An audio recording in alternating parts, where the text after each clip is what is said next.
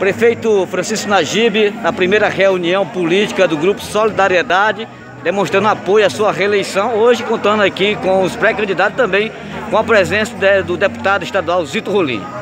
O Solidariedade é um partido que visa geração de emprego, é comandado no estado pelo secretário Simplício Araújo, secretário de Comércio, e junto aqui na companhia do deputado Zito Rolim, um amigo leal, uma pessoa que sempre teve e está do lado da população em prol da cidade, faz parte do nosso grupo político e a gente aqui está podendo receber a adesão à nossa pré-candidatura a um partido fortalecido com grandes nomes para candidato a vereador, partido que vem forte, partido que vem com a intenção de poder contribuir com a cidade de Codó na geração de emprego e renda, nos investimentos que Codó está se preparando para o futuro.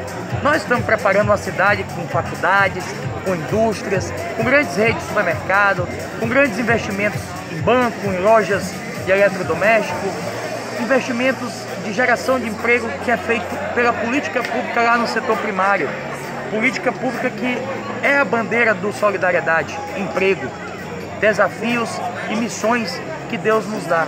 Então, eu digo que hoje, com muita alegria, eu recebo esse grande apoio de um partido forte, de um partido que terá representantes na Câmara de Vereadores a partir do ano que vem e que vai trabalhar muito junto com a gente, se Deus permitir, a população permitir, pois eu sou um pré-candidato escolhido por um grupo político formado por homens e mulheres de bem, um grupo político comandado pelo ex-prefeito e deputado Zito Rolim, empresário Chico Oliveira, população de Codó, muitas pessoas de Codó que faz parte desse grupo político e que escolhem um nome. Poderia ser, ser escolhido um outro nome, mas me deram a oportunidade de mais uma vez continuar contribuindo para completar um ciclo fantástico que nós estamos criando de qualidade de vida para o nosso povo. E eu estou aqui na minha missão. Eu acho que muitos tiveram a oportunidade de governar por oito anos e eu poderei também ter essa oportunidade. E com muita humildade eu seguirei firme, seguirei em frente, seguirei fazendo as ações importantes para melhorar a vida das pessoas. O que a gente sabe que hoje tem problema no lixão, tem problema de infraestrutura nas ruas, tem problema de falta de água que ainda não chegou água. Tudo isso a gente sabe e sabemos também quando vamos solucionar e quando vamos enfrentar esses problemas. Essa é a missão de um gestor que faz planejamento.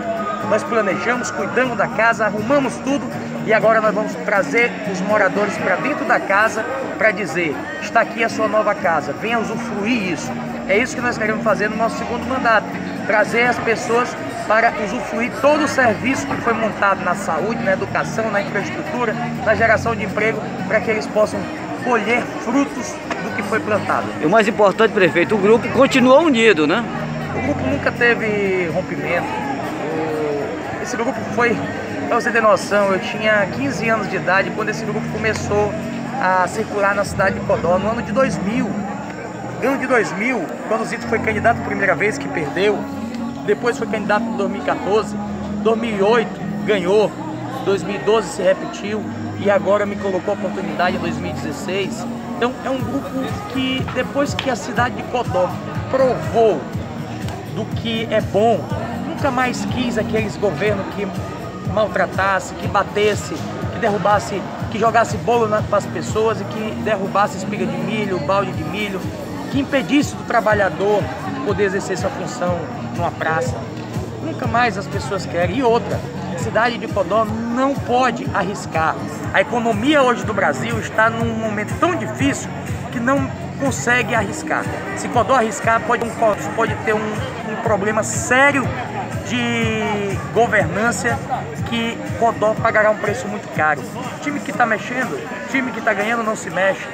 Time que vem fazendo um bom trabalho deve se manter. Então são essas ideias que a gente vem discutir aqui hoje para dizer que é possível sim continuar fazendo um grande trabalho e fazer a grande Codó que a gente tanto sonha, que a juventude sonha, que é a Codó que vai ter a indústria, que já tem uma outra indústria querendo vir, é a Codó das faculdades de medicina, faculdades Facema, Uniplan, que está vindo no nosso governo. Essa é a cidade que a gente sonha para nossa cidade. E nós vamos concluir essa cidade sim no nosso segundo mandato, se Deus permitir. Eu sou um pré-candidato, ainda iremos homologar tudo isso da forma bem natural e e importante para a nossa cidade.